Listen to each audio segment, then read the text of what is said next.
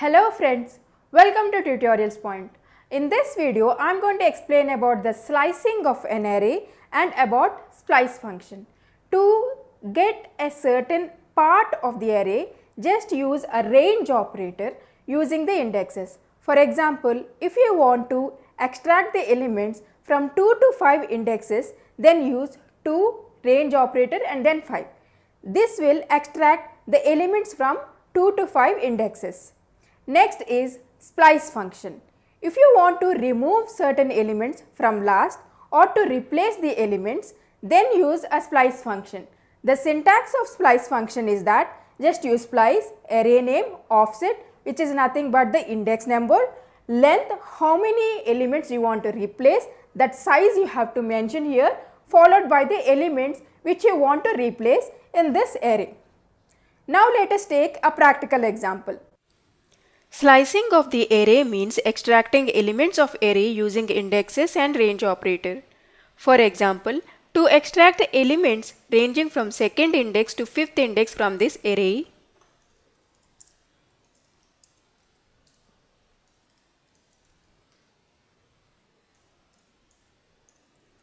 let us test it.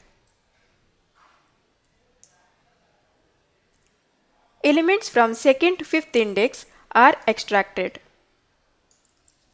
Another important function of arrays is splice to replace or remove elements from the array. To replace elements,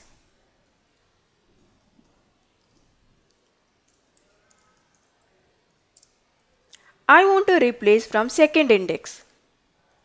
The third field has to be the size. The fourth field has to be the elements. This means I want to replace elements starting with index 2 with length 3 with 98 to 100. Let us now print the array.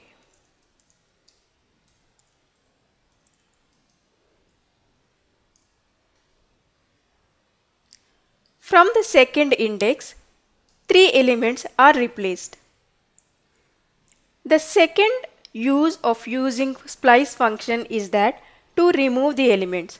For example, if you want to remove elements from last,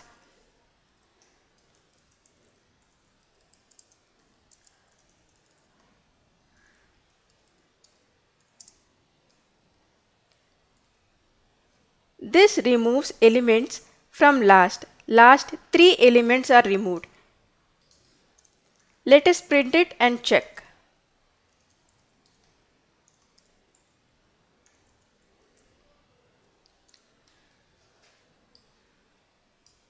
The last three elements are removed.